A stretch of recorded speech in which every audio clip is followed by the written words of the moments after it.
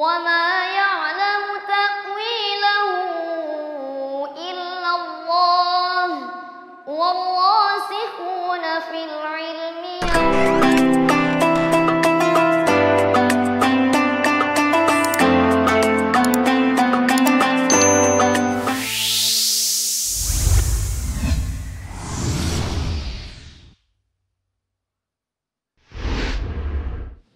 Silakan.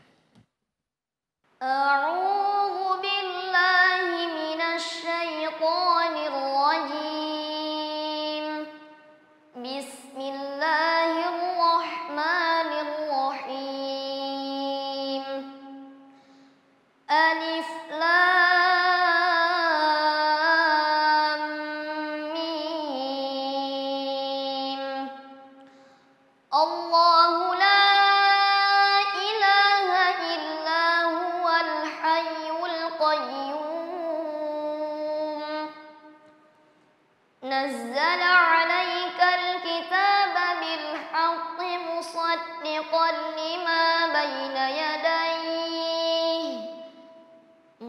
مصدقا لما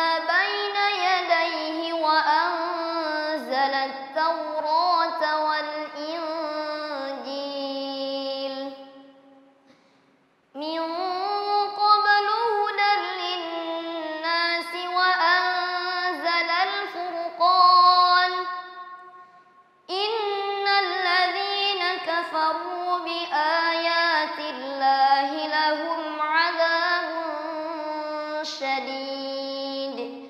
والله عزيز ذو انتقام. إن الله لا يخفى عليه شيء في الأرض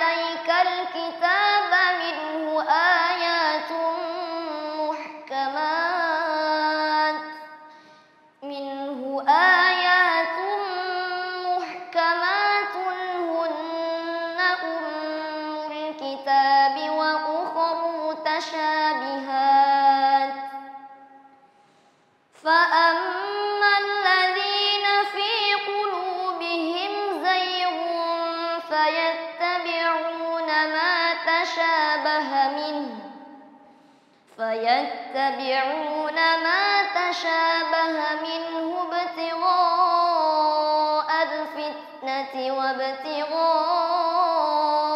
تأويله وما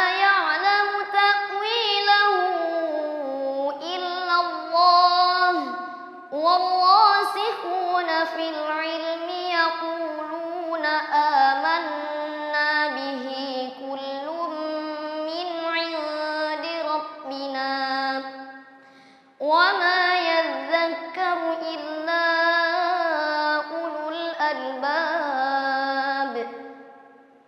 صدق الله العظيم arhamna bil Quran. Ryan, Tebo Jambi. Pakai maskernya. Ah, ditutup ini mana? Iya, silakan. Dewan juri, Ryan, peserta ketiga kita silakan Kanabila. Baik, sebelumnya mau diizin ke Irfan. Ya, silakan. Rayyan, kenapa bacanya sampai ayat 7 aja?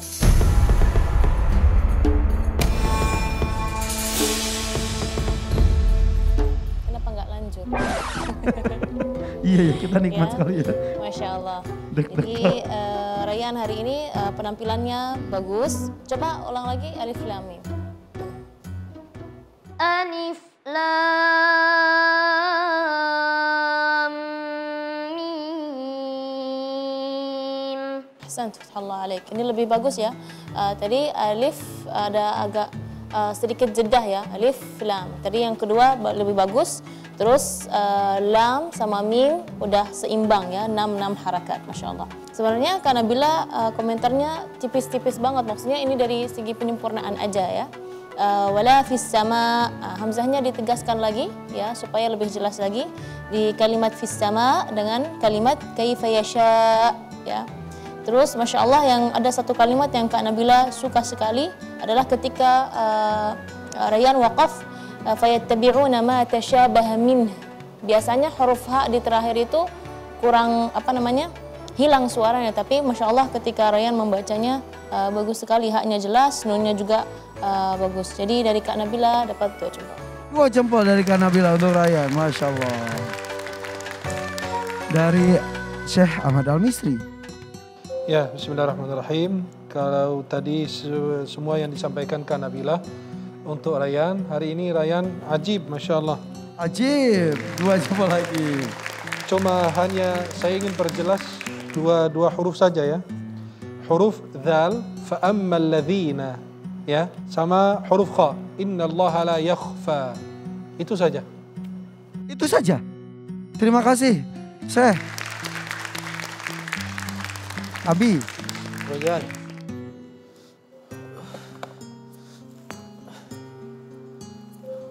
Abi Amir seperti terbawa tadi bermakmum di Masjidil Haram. Abi Amir minta izin, Royan, ingin ngecup kepalamu.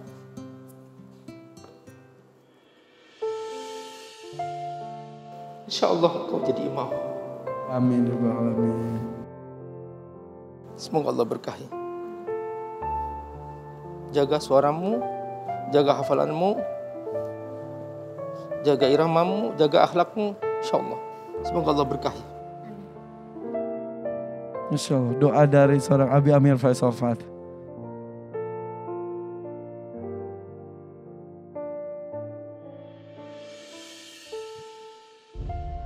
Betul yang disampaikan. Tadi bacaannya Masya Allah. Kita benar tertegun. Dulu karena beliau sampai menangis mendengarkan bacaan dari Ryan. Karena teringat suasana Masjidil Haram Mekah. Allah kasih kelebihan, Royan, dia dengan tanpa uh, takaluf, artinya irama dia memang irama dia, suara dia, suara dia tidak diangkat terlalu melengking. Dan seperti itulah Royan. Dan seperti itu dia membaca Quran. Dari sejak awal penampilan sampai sekarang Royan nggak berubah. Saya pribadi merasakan bahwa ketika tadi mendengar saya hanya bisa menangis. Hati tenang, teduh gitu. Entah subhanallah karunia Allah. Allah tidak memberikan kepada semua orang. Tapi Allah memilih dari hambanya untuk mendapatkan karunia seperti ini. Apalagi yang dibacakan Al-Quran. Firman Allah, pencipta langit dan bumi, biyadihil mulk, wa ala kulli syai'in qadir. Yang maha agung, yang maha besar. Allah yang berfirman. Ketika firman Allah dibacakan dengan hati nurani yang indah. Dibacakan dengan seorang anak yang tidak punya dosa sama sekali. Yang fitrah. Maka perpaduan antara cahaya Al-Quran dengan cahaya fitrah yang begitu indah ini. Subhanallah. Benar-benar tak terhingga.